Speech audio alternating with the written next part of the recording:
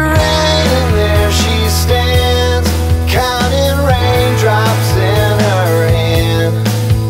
They linger in her hair as if the